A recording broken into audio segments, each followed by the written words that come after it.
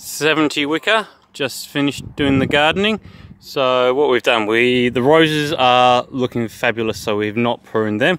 We have, however, hand weeded out all the veld grass that was growing in here, leaving the uh, couch, which is just about impossible to hand weed. We sprayed it all.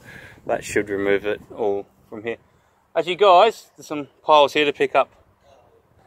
Uh, and I've gone through and sprayed all the um, all the couch so that's all gone. Um, the lawns are here are for the tenant. I did offer to do them. She has declined. To make up the bulk of the work done we brought that frangipani back down to beneath gutter height. So we've taken a good two feet off the top of that. Um, also here in this flower bed we have removed the weeds that were in there and sprayed that to stop them regrowing. Same with down the driveway and in the footpath um, there was lots of weeds here, so they've all been trimmed and sprayed. Coming out the back, um, not too much to do.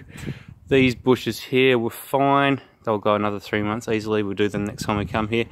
This bush by the steps, we trimmed that back. That was getting a bit wild. The bulk of the work we did was here in the uh, chicken coops where we had all the veld grass coming through we smashed that down, raked it up and poisoned it. There you go.